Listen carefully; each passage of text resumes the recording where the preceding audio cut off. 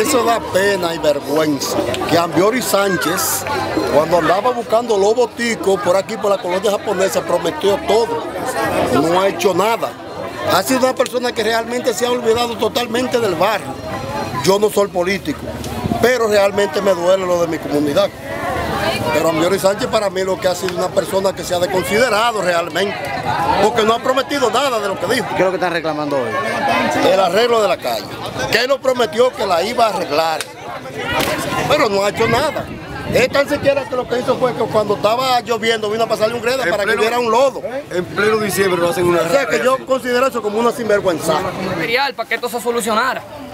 Y que no va a dar a la muchacha. En un, en un pleno para 24 de diciembre. Mira, mira lo que nos manda el síndico a hacer nosotros. Mira qué desastre. Mira qué, qué buena cena nos dio el síndico a nosotros. Cuando ella andaba en política, andaba abrazando a todo el mundo aquí. Que manden y que sea material para acá los cuatro viajes de material. Que él tiene todo, tiene aparato y tiene de todo para resolver ese problema a nosotros. Gracias. Y le dice, No, no, va- vamos de allá, vamos de allá. que manden un camión o dos o tres a recoger la basura, que no somos puercos. Pues, yo nunca me meto en nada, pero ahora a mí muerta me sacan de aquí, porque me van a tener que arreglar esta calle.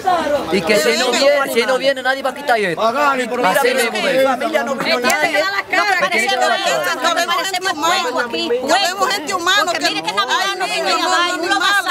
Fue lo que a dar, un lobasay. Aquí que hay, aquí, hay, mujeres con niños que eso es lo que dé pena, que piensen que, que es gente humana que vemos aquí, no animales, no puercos, que piensen en lo, en lo demás.